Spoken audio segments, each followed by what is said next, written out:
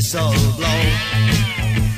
And then I start reviving across your yard beneath the stars.